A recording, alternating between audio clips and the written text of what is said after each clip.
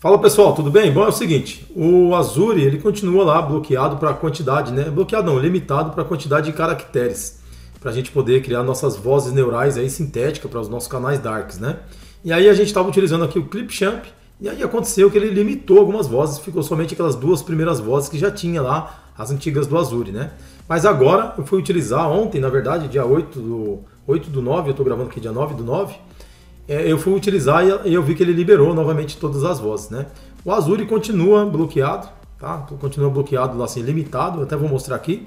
E aí eu vou te mostrar como é que você faz para gravar aqui no Clipchamp, se você não viu esse vídeo ainda, né? Algum vídeo aí na internet. Mas eu vou te mostrar que agora todas as vozes estão liberadas, tá? E eu vou fazer mais uma vez aqui para você aprender, mostrar para você qual é a extensão que eu utilizo para gravar aqui, tá? Então, ó, se a gente vir aqui na Azure, ó, vou até atualizar ele aqui. Aí eu separei aqui um texto aqui, né? O, Pedro do Flamengo né, foi convocado. Eu não tenho canal do Flamengo. Peguei um texto aqui sobre isso porque é, muita gente, eu sei que é, assiste nós aqui, né? Que tem que assiste esse canal, que tem canais de futebol, inclusive do Flamengo, que são os canais que mais tem, né? Então aí o Pedro do Flamengo foi convocado, merecidíssimo, né? Inclusive, vamos sair um pouco aqui do protocolo. Se você acredita que o Pedro foi convocado merecidamente, deixa aqui no comentário. Tá? Se você acha que o Pedro merecia ir para a seleção brasileira, eu acredito que sim. Inclusive até o Dudu do Palmeiras é um injustiçado, né? Que merecia ter. Eu não torço para nenhum dos dois times, tá? Mas eu acho que os dois deveriam sim é, é, ter sido convocados, né? Mas aí eu peguei esse texto aqui do Pedro, a convocação do Pedro, e aí eu vou colocar aqui para você ver, ó. A gente coloca aqui, ó. E aí, ó, ele não deixa a gente gravar, tá vendo? Você clica aqui, não deixa a gente gravar. E aí, aqui, ó, tem todas as vozes, né? E lá no Clipchamp também tinha.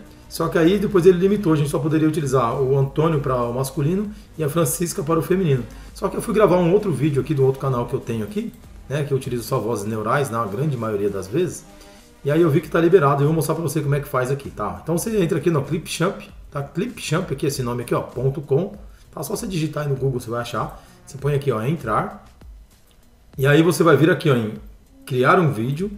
E aí quando a gente cria um vídeo, você vem aqui, ó, em gravar e criar, tá? Você pode criar seus vídeos aqui também, tá? Esse aqui é um editor também, tipo que nem o Camtasia. Eu não utilizo porque essa versão gratuita é um pouco limitada e eu também já estou acostumado a utilizar o Camtasia, tá? E aí você vem aqui, ó, e cola esse texto aqui, ó. Tá? A gente copiou o texto e vou colar aqui. E se você vir aqui agora, ó, agora tá liberado todas as vozes novamente, tá vendo? Tem aqui do Brasil e tem outras também, ó. Tá? Então para você que, né, é, tem canal aí que você é de review de produtos dark aí, né? Ou produtos gringos, né? De plataformas gringas, você pode utilizar aqui também. Então eu gosto, quando é masculino, o que eu mais gosto de utilizar é esse Donato aqui. Né? Eu utilizo esses dois também tradicionais aqui. Mas quando dá liberado essas vozes, eu utilizo aqui o Donato. E o feminino eu gosto de utilizar essa Elsa aqui, que é uma voz bem suave. Aí eu ponho aqui o Donato. E eu gosto de aumentar aqui ó, quase até o final aqui assim. Senão ele fica muito lerdo, sabe? E aí, existem duas possibilidades para você gravar. A que eu mais utilizo, que eu vou falar para vocês, é essa daqui, ó. Eu venho aqui, ó, e coloco aqui, ó, gravar, tá? E aí eu coloco para gravar a tela aqui, né? Ele já grava, por quê? Porque ele já fica aqui dentro. Depois eu só coloco assim para separar áudio do vídeo. E aí eu fico somente com áudio. Tá? Você vem aqui, ó, tem uma, uma opção aqui, ó, que você faz assim, ó, você clica assim. Aqui não vai ter porque essa parte aqui não tem. Você vem aqui, ó, separar áudio e vídeo. Você clica aqui, ele separa. Porque esse videozinho que tem no fundo aqui não tem nenhum áudio, né? Deixa eu ver se aqui vai dar, quer ver, ó. Aqui também não dá porque aqui é só um áudio. Mas enfim, quando você tem um vídeo que tem um áudio, você clica com o direito aqui no Camtasia põe assim, ó, separar áudio e vídeo. Aí eu pago a parte de vídeo, né, e fico somente com o meu áudio pronto aqui. Tá? A que eu mais utilizo é essa por, por causa disso, né, porque é muito mais prático para mim. Só que você tem essa extensão aqui que eu sempre estou mostrando aqui, ó, tá? Essa daqui, ó, tá? Tem vídeo aqui no canal, inclusive eu já falei várias vezes, mostrando passo a passo como que utiliza. Mas é dessa forma aqui, tá? Então eu venho aqui, ó, coloco aqui e põe para capturar o áudio. Quando a gente coloca aqui, gente grava pelo Clipchamp, é, ele dá uma engasgada aqui, sabe? Ele dá uma picotada no áudio, aí depois ele vai, né? E como eu estou utilizando também aqui para gravar aqui a tela, utilizando o Camtasia, tem bastante é, coisas abertas aqui, né? Então acho que até a memória também força um pouco.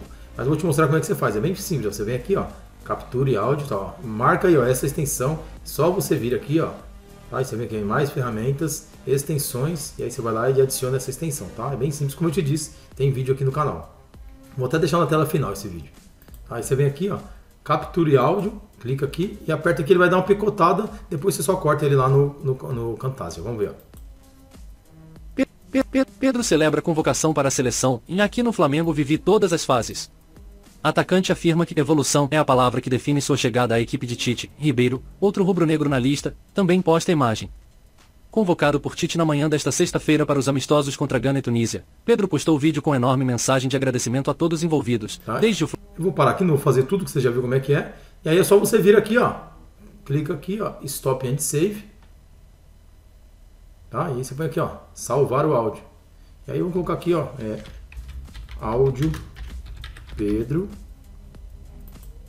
salvou, beleza? Se você for fazer por aqui, ó, o que, que você precisa fazer? Você, você tem que vir aqui, ó, vamos supor, gravar por partes. Vamos supor, eu coloco aqui, ó, X, aí ó, já habilita.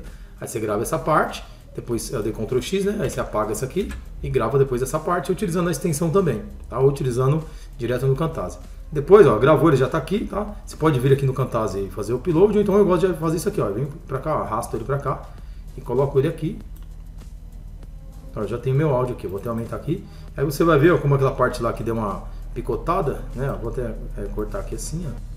Aquela parte que deu uma picotada lá, a gente vai lá e corta ela fora. Deixa eu aumentar aqui para ficar melhor para vocês verem. Aqui, ó. ó. essa partezinha aqui, ó, que picotou, tá vendo? Então vamos ver, ó. Pedro celebra. Tá vendo? Então eu venho aqui, ó, e eu corto aqui essa partezinha aqui, ó. Vamos ver agora.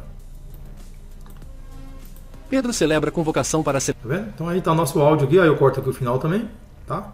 Gravo ele todinho e aí a gente tem... E aqui no Flamengo vivi todas as fases. Atacante afirma que evolução é a palavra que define sua chegada à equipe de Tite. Ribeiro, outro rubro-negro na lista, também posta a imagem. Convocado por Tite. Quando tem essas pausas aqui também, ó, quando eu tô com tempo, eu venho aqui e corto também, ó. Tá? Fica bem melhor. Tem uma dica extra pra você aí, ó. Eu gosto de cortar essas pausas assim, porque ele não fica muito tempo, ó. Também posta a imagem. Convocado por Tite na manhã desta sexta-feira. Tá vendo? Não fica aquela pausa grande no vídeo. Então, se puder cortar esses espacinhos aqui, ó, é uma dica para o seu vídeo ficar muito mais dinâmico, tá? Dica extra aqui, tá? Agora eu vou falar para vocês o que que eu acho, tá? O que que eu acho? A gente não pode ficar só na mão dessa galera aqui, ó, tá? Porque ó, hoje está funcionando, amanhã a gente não sabe, tá? Eu, eu indiquei aqui no canal, tem dois produtos que eu indiquei aqui que é da gringa, um que já tem personagens, eu vou deixar esses dois vídeos aqui na descrição, um que já tem personagens e outro que é o Spichello, que utiliza, né, tem vozes lá, só que são softwares pagos, Tá? Eu vou deixar o link desses dois, é, dessas duas ferramentas aqui na descrição. De repente, dependendo do momento que você está, você já tem um canal monetizado, você já tem uma renda, vale a pena investir. Tá? Tem mais uma que eu estou estudando, eu vou fazer alguns testes aqui, dar uma olhada direitinho. E eu vou trazer aqui também. Ele faz até outras funções. A função desse, desse outro software nem é só gravar áudio, tá? Mas como ele tem essa função, a gente pode utilizar e são essas vozes também. Então, se você já tem né, uma renda, assim como acontece comigo, eu estou estudando qual desses que eu vou adquirir. O que eu mais gostei até agora é o, aquele lá que tem os personagens, tá? Vou deixar o link dos dois aqui na descrição. Então vale muito a pena a gente investir, a gente não ficar na mão dessas, né, desses é, softwares gratuitos, porque como é gratuito, daqui a pouco ele tira o nosso acesso, tá? Mas aí é com você. É, esse vídeo foi só para mostrar para você que já está, né? Tá funcionando aqui, eu fiquei bastante feliz. Tá? Muita gente está começando agora, precisa disso aqui, ó. Então dá para você utilizar vários aqui. Esse Manuela também é bem bacana tá bom? Lembrando que sempre eu deixo aqui na descrição também o link do curso gratuito do Erivelto, se você é totalmente iniciante, para você criar o seu primeiro canal no YouTube do zero, do zero. E é de graça mesmo, tá gente? De graça mesmo. Se cadastra lá, põe o e-mail direitinho, depois você vai receber esse curso é, lá no, no e-mail que você cadastrar, tá bom? Até mais, tchau, tchau.